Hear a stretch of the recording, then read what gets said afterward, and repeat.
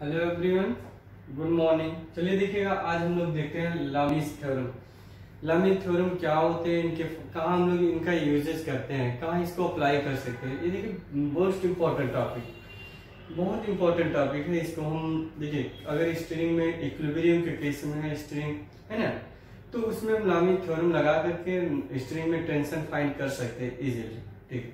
वैसे तो long method हो जाएगा, ऐसे सॉल्व नहीं कर सकते हैं। अगर कंपटीशन लेवल के अगर हम सम करना चाहते हैं तो डायरेक्ट लामी थ्योरम लगाएँगे। वो आज को मैं आपको सिखा रहा हूँ। देखिए, क्या है if three forces P Q and R देखिए, एक पॉइंट है सपोज़ करिए पॉइंट राइट इस पे थ्री फोर्स लग रहे हैं पी क्यू एंड आर इस सब इस पॉइंट पे इक्विलिब्रियम में रखे हैं। यानी नेट फोर्स क्या है इस पे? Zero then apply Lami's theorem देखिए पी क्या एंगल पी क्या अपोजिट क्या है?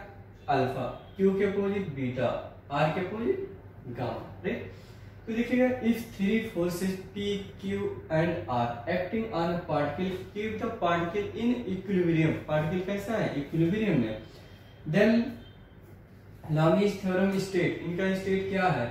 P अपान यहाँ साइन जा राइट तो P upon sine alpha equal to क्या लिखेंगे? Q upon sine beta equal to R upon sine gamma ये देखिए एंगल पी के अपोजिट वाला ही लेंगे। जैसे पी है तो इसके सामने क्या आ गया? अल्फ़ा तो P upon sine alpha Q के अपोजिट बीटा तो साइन बीटा आर क्या है? इसके अपोजिट गामा तो R साइन गामा राइट तो ये देखिएगा लामिज थ्योरम कैसे अप्लाई करेंगे वो मैं आपको सिखा रहा हूँ। तो देखिए, इसकी जो सम है प्रॉब्लम्स है, मैं नेक्स्ट वीडियो में आपको बताता हूँ। पहले लामिज थ्योरम को अच्छे से समझिएगा, कैसे करते हैं इनका यूज़ ठीक है?